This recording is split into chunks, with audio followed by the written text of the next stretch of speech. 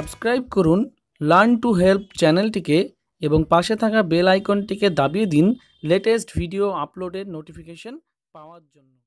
Welcome friends, আপনাদের সকলকে আমি আমার ইউটিউব চ্যানেল লার্ন টু হেল্পে স্বাগত জানাই।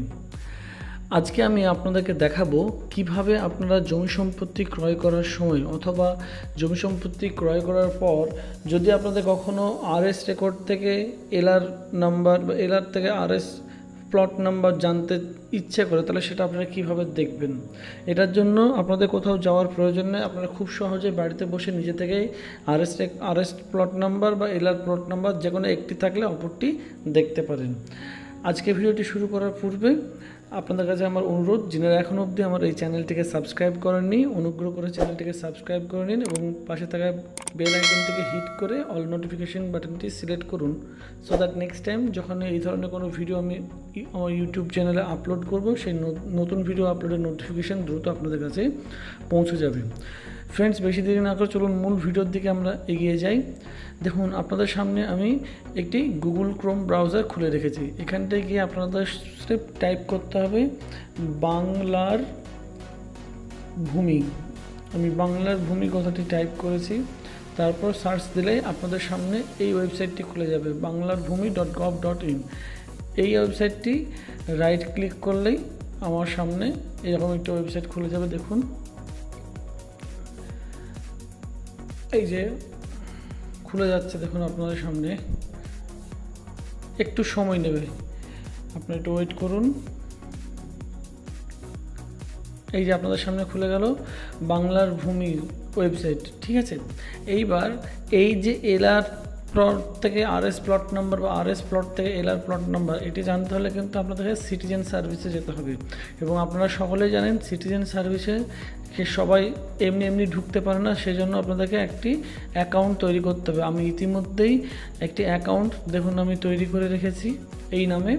এবং কীভাবে সিটিজেন সার্ভিসে অ্যাকাউন্ট তৈরি করতে হয়, সেই সংক্রান্ত আমি একটি ভিডিও ইতিমধ্যেই বানিয়েছি। আপনারা চাইলে আমার আই বাটনে গিয়ে সেই ভিডিওটি দেখে নিতে পারেন, কীভাবে সিটিজেন সার্ভিসের জন্য আপনারা অ্যাকাউন্ট বানাবেন, অথবা আমি আমার ভিডিও ডেসক্রিপশন বক্সে সেই ভিডিও লিঙ্কটিও আপনাদেরকে দিয়ে দেবো। এবার দেখুন, আমি যেহেতু একটি অ্যাকাউন্ট তৈরি করে ফেলেছি, তাই আমি সেই অ্যাকাউন্টে লগ ইন করেছি, এবার আমরা সিটিজেন সার্ভিসে ক্লিক করব। সিটিজেন সার্ভিসে ক্লিক করার সঙ্গে সঙ্গে আপনাদের সামনে এতগুলি অপশান চলে আসবে। আমরা এই যে দেখতে পাচ্ছেন, নিচের দিক থেকে R S hyphen L R information এটিতে আমরা ক্লিক করব। এই অপশানে ক্লিক করলে আমাদের সামনে দেখুন আর একটি নতুন পেজ খুলে যাবে। সামনে একটু ওয়েট করুন, একটি নতুন পেজ খুলে যাবে। এই যে আমাদের সামনে একটি নতুন পেজ এইভাবে খুলে গেল। দেখুন লেখা রয়েছে R S hyphen L R plot information mouza identification বলে এখানে তিনখানা কলাম রয়েছে ডিস্ট্রিক্ট ব্লক মৌজা দিকে ডান দিকে অপশান রয়েছে। এবার প্রথমে আমাদেরকে সেগুলো সিলেক্ট করে নিতে হবে। কোন ডিস্ট্রিক্ট আমি ডিস্ট্রিক্ট সিলেক্ট করে নিচ্ছি। আপনারা এই তথ্যগুলি সঠিক দেবেন, না হলে কিন্তু কাজ হবে না। ব্লক, ব্লকটি আমরা সিলেক্ট করে নিলাম। তারপরে মৌজা, কোন মৌজা সেটি আমরা এখানে সিলেক্ট করে নিচ্ছি। দেখুন, মৌজাটিও আমরা সঠিকভাবে সিলেক্ট করে নিলাম, ঠিক আছে? এইবার ডান দিকে অপশানে চলে আসুন। এখানে বলা হচ্ছে সাবেক দাগ থেকে হাল দাগ এলার। আপনাদেরকে বলে রাখি, এলার মানে হচ্ছে হাল দাগ আর আরএস মানে হচ্ছে সাবেক দাগ। যদি আপনি হাল দাগ জানতে চান, তাহলে আপনাকে পুরনো বা সাবেক দাগের প্লট নাম্বারটি এখানে বসাতে হবে। আর যদি আপনি সাবেক দাগ জানতে চান, তাহলে আপনাকে হাল বা আরএস প্লট নাম্বারটি এখানে বসাতে হবে। এলআর প্লট নাম্বারটি এখানে বসাতে হবে। আমরা প্রথমে দেখাচ্ছি যে আপনারা পুরনো সাবেক দাগ থেকে হাল দাগে কীভাবে প্লট নাম্বার জানবেন। তাহলে আমি দেখুন এখানে সাবেক দাগ থেকে হাল দাগ, এলার, হাল দাগ মানে হচ্ছে এলার, সেটা আমি জানতে চাইছি। তাহলে সাবেক দাগ নাম্বার আমি একটি এখানে বসিয়ে দিলাম।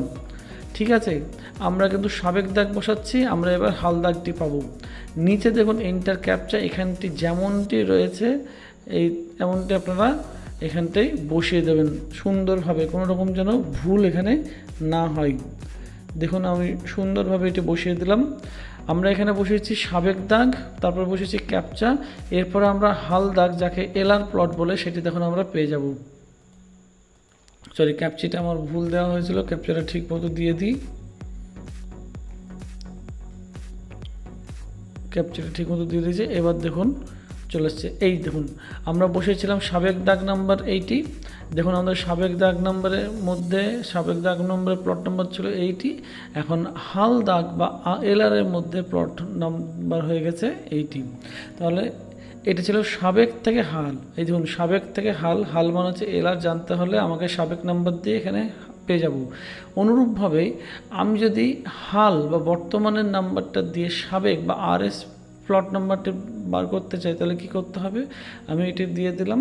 এবার এখানে আমি বর্তমান প্লট নাম্বারটি বসিয়ে দিলাম এবং আমি এখানে থাকা সুন্দরভাবে ক্যাপচাটি দেখে দেখে টাইপ করব। আপনারা দেখুন, একদম সুন্দরভাবে করবেন এবং ভিউ অপশানে ক্লিক করলাম। দেখুন, আমি বর্তমান বা হাল প্লট নাম্বার দিয়েছি, আমি চাইছি সাবেক বা আর এস প্লট নাম্বার দেখুন, হাল থেকে সাবেক এই দেখুন, আমি বর্তমান চোদ্দোশো আটান্ন হাল, ধরুন হাল দাগ নাম্বার, এলআর প্লট নাম্বার চোদ্দোশো আটান্ন আর সাবেক দাগ নাম্বার আমার বেরিয়ে গেল চারশো সাত।